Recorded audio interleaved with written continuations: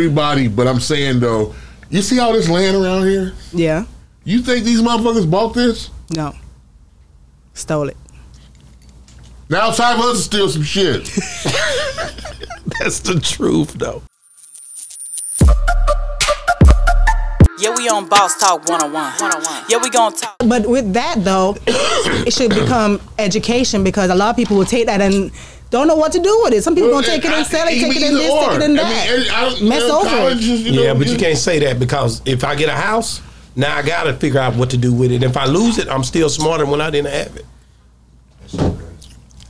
Am How I many- right? how- You know many people lose houses Yeah, but, But that but they that's know on, now. That's that's on them? on them. That's on you. But in reality, the way how a lot of people are, yes, you say it's on them, but that same person gonna turn around. Well, they didn't do this. They're gonna find something else to blame Listen, on. everybody, but I'm saying though, you see all this land around here? yeah. You think these motherfuckers bought this? No. Stole it. Now it's time for us to steal some shit. That's the truth, though. It's real. they stole this shit. yo. You think he wrote an application for this motherfucking block? No, he took it. Yeah. It's Right. mine.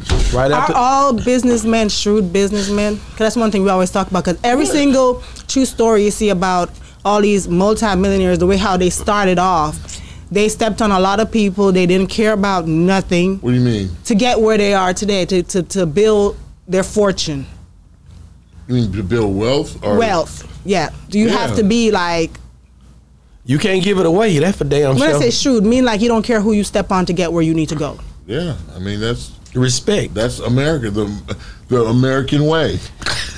You ever heard of Manhattan? they always tell that story. We bought this much from Indians for twelve bucks. You stole it. I don't even think you gave me twelve dollars. fuck the twelve dollars look like back then. Twelve Who the fuck bucks. gonna sell a whole bunch of all this shit for twelve dollars?